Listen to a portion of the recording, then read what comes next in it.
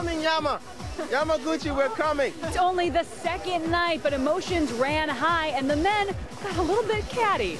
You'd think all dressed up, the guys would behave. Not even close. We had to sit there and act interested. It was horrible. Okay, Penn is kidding, but the guys were dead serious. These ladies are fierce. Priscilla really, I thought was amazing. Priscilla's the favorite, no doubt about it. The Just death say it. roll, I mean, you know, uh, the death twirl, it was amazing. Cheered on by the king's daughter, Lisa Marie. Elvis's former wife was queen with the audience and the judges. This was an uncompromising, smoking hot foxtrot. Never expected, uh, you know, the audience to react as it did. The night was a total shock for theater's Marissa Jaret Winokur. People don't scream like that on Broadway. They wait for the song to be over. And some surprising news from Marissa, who tells People magazine she and her writer husband, Judah Miller, are expecting a baby. Marissa, who survived cervical cancer seven years ago, says a surrogate is carrying their first child.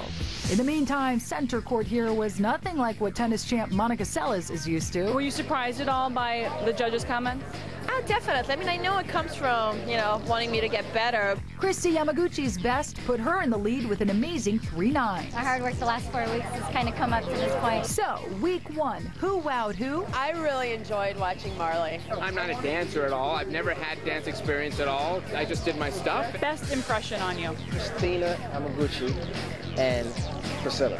Not so fast. Another round for all the dancers next Monday on ABC. Then two couples kicked off Tuesday night.